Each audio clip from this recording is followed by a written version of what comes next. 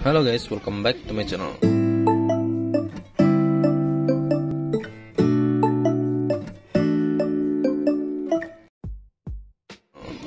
Oke okay guys, jadi di video kali ini saya akan buat tutorial bagaimana cara melewati uh, lupa email pada handphone yang setelah kita reset tapi masih belum bisa masuk seperti ini kita masih kita lihat di sini ada logo tanda kunci di sini artinya dia masih meminta alamat email yang terakhir kali kita pasang di handphone ini jadi bagaimana cara kita mm, melewati bypass bagian uh, masuk email atau Andi itu guys. Jadi di tangan saya kali ini adalah handphone Vivo Y12s. Jadi kita di sini tidak memerlukan alat apa pun, kita hanya uh, kita hanya senam jari dengan handphone ini aja. Yang pertama kita lakukan adalah kita pilih di di sini. Sebagai di sini kita lanjutkan. Nah, jadi di sini tidak bisa sini. Nah di sini kita nggak bisa lewat karena kita harus connect ke internet. Jadi bagaimana caranya meskipun kita masuk nanti tetap dia minta email kita yang terakhir kali dimasukkan ke handphone ini guys. Oke langsung aja ke ke prosesnya yang pertama kita tap aja di di sini. Pilih lihat jaringan wifi yang lain. Kemudian setelah sampai di sini kita tap dulu di sini. Nah di sini kita nggak perlu masukin hotspot atau wifi yang ada yang mau kita connect. Kita di sini memanfaatkan fitur yang ada di sini yaitu di mikrofon ini guys. Langsung aja kita tap sekali seperti ini. Kita pilih di sini kita pilih tolak. Kemudian kita tap lagi. Pilih tolak lagi guys sampai mampus. Kemudian kita pilih lagi sekali Nah, di sini akan muncul di bawahnya seperti ini ada tulis tulisannya izinkan, kita pilih izinkan. Kita coba lagi nah, kita pilih izinkan.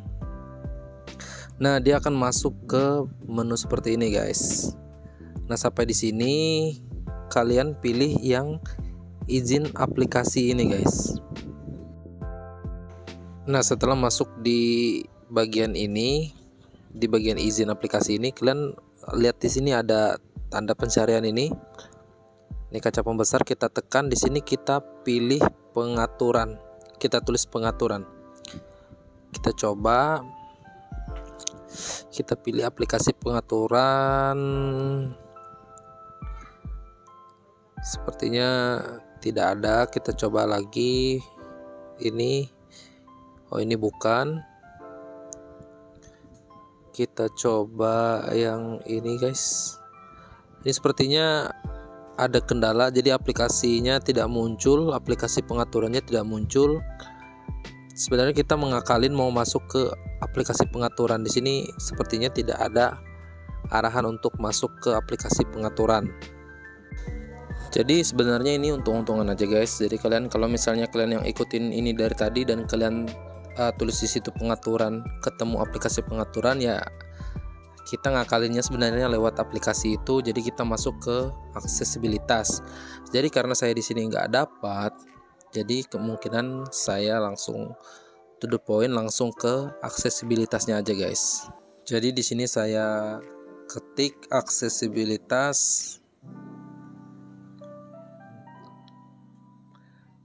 nah di sini langsung ketemu guys. Jadi kalian pilih aja di sini langsung pilih yang gambar orang itu aksesibilitas. Kemudian pilih menu aksesibilitas. Kemudian aktifkan ini guys. Ini pintasan menu aksesibilitas kita aktifkan. Kemudian di sini oke okay, izinkan. Kemudian oke okay lagi di sini akan ada muncul di pojok kanan bawah ada logo orang.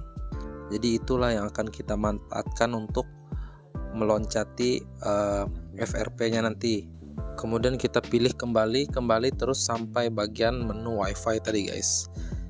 Kita kembali terus. Nah kita udah sampai sini nah di menu hubungkan ke wifi kita pilih mana ini kita coba konekkan ke hotspot. Jadi kalian masukkan aja hotspot.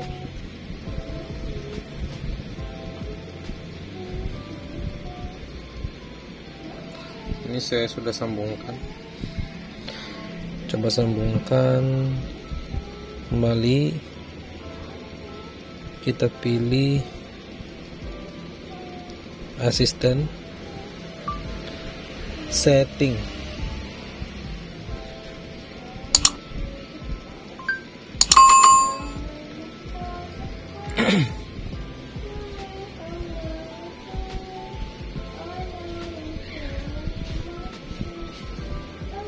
Kita ulangi kata ininya.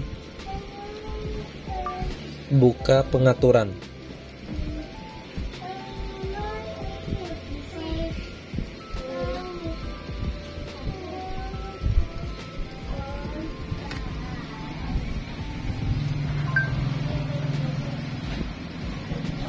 Nah, di sini kita masuk ke pengaturan. Kemudian kita pilih di aplikasi. Nah, jadi di sini kita pilih aplikasi dan notifikasi.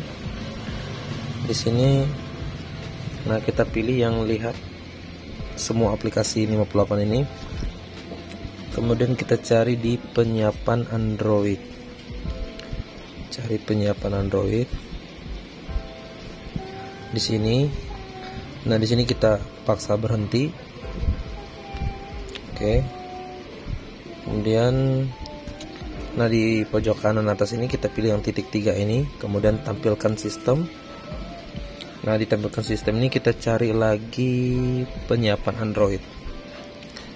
Kita cari penyiapan Android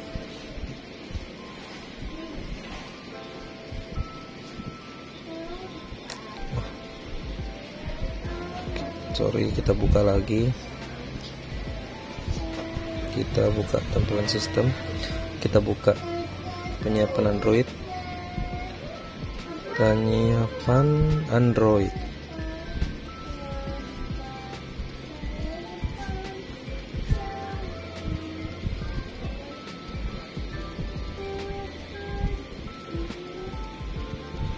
Nah, di sini ada penyiapan Android.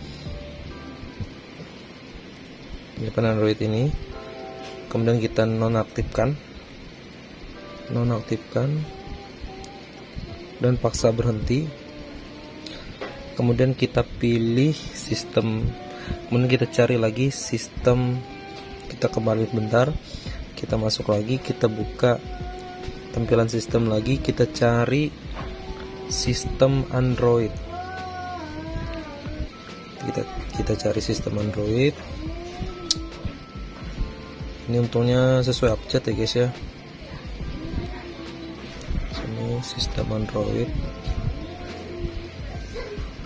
Nah di sini kita paksa berhenti. Oke. Paksa berhenti. Oke. Kemudian kita pilih layanan Google Play. Kita cari lagi layanan Google Play. Layanan Google Play di sini kita pilih juga layanan Google Play. Kemudian kita paksa berhenti kemudian nonaktifkan. Nah di sini sudah semua kita nonaktifkan. Kita kembali aja ke halaman tempat kita setting bahasa tadi guys. Kita kembali lagi. Nah kita mulai sampai sudah sampai sini. Kemudian kita pilih bahasa Indonesia. Setuju kemudian di sini langsung kita tekan kembali aja. Nah di sini ada pilihan siapkan offline. Siapkan offline kemudian lanjutkan. Di sini kita berikutnya. Di sini kita lewati aja. Jadi kita sudah berhasil melewati bagian FRP, FRP tadi guys ya. Berikutnya kemudian kita lewati. Dan kita udah masuk guys. Di sini udah masuk. Dan nah di sini dia udah masuk. Sekarang kita bisa aktifkan lagi layanan Google Play nya kita buka di setting aplikasi kemudian kita buka layanan Google Play. Layanan Google Play kemudian kita aktifkan lagi sekarang handphonenya sudah berfungsi normal guys. Jadi aksesibilitasnya kita nonaktifkan aja lagi di sini. Di sini kita buka aksesibilitas. Ini kita menu aksesibilitas kita nonaktifkan aja di sini. Nah kemudian handphone sudah kembali seperti semula guys. Kita udah bisa pakai normal lagi guys